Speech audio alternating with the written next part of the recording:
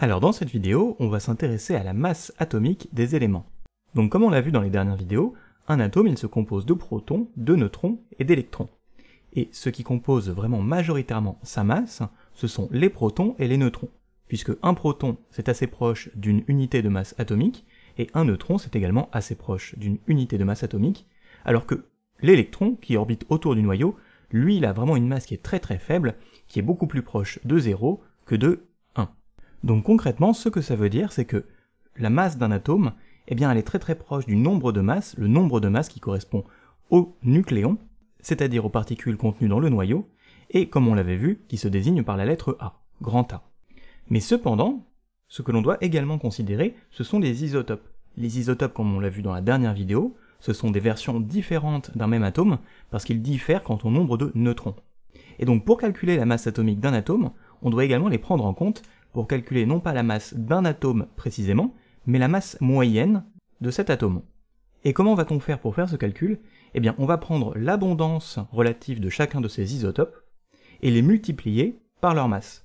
Alors comme ça c'est pas forcément très clair, donc on va prendre un exemple, et on va considérer le bore. Donc le bore il a comme numéro atomique 5, on l'écrit par la lettre grand B, et cet atome il a deux isotopes.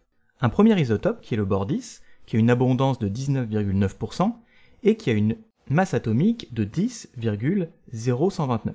Et un autre isotope qui est le bore 11, qui a une abondance de 80,1%, et une masse atomique de 11,0093.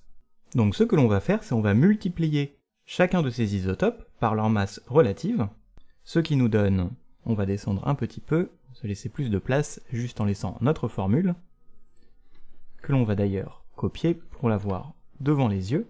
On va mettre notre premier isotope en vert et notre deuxième isotope par exemple en rouge. Ce qui nous donne, entre parenthèses, le bord 10 0,199, puisque c'est le pourcentage écrit sous sa forme décimale, multiplié par la masse, donc 10,0129, on ferme la parenthèse, on ajoute la deuxième version, le bord 11, donc 0,801, multiplié par 11,0093.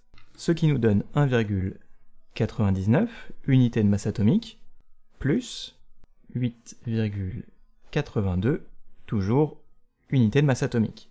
Et au final, on se retrouve avec un total de 10,81 unités de masse atomique. Donc là, ce que l'on a, c'est notre masse moyenne, notre masse atomique moyenne. Ça ne peut être ni la masse de l'un ni la masse de l'autre, puisque encore une fois, c'est une moyenne de plusieurs isotopes, et donc qu'aucun de ces isotopes en particulier ne pèse 10,81 unités de masse atomique.